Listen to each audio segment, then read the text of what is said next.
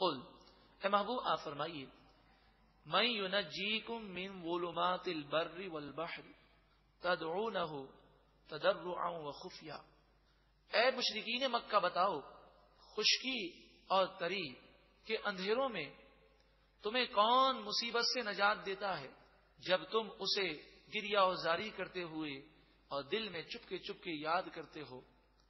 Line Anjana منہا دی اور اس وقت تم یہ کہتے ہو کہ اگر ہمیں اس مصیبت سے نجات مل گئی لنکو نن من شاکرین ضرور ب ضرور ہم شکر کرنے والوں میں سے ہو جائیں گے۔ خری آیت کریمہ مشرقین مکہ کے رد میں ہے۔ لیکن آج گناگار مسلمان ذرا غور کرے کہ ایسا نہیں ہوتا۔ جب ہم بالکل پھنس جاتے ہیں، تو اس وقت اللہ بھی بہت یاد آتا ہے۔ اور اس وقت تو ایسا دل ہمارا کرتا ہے۔ کہ بس اب تو ایسے نیک بن جائیں گے، بالکل سب گنا چھوڑ دیں گے۔ لیکن جب انسان مصیبت سے دور ہو جاتا ہے، پھر بھول جاتا ہے۔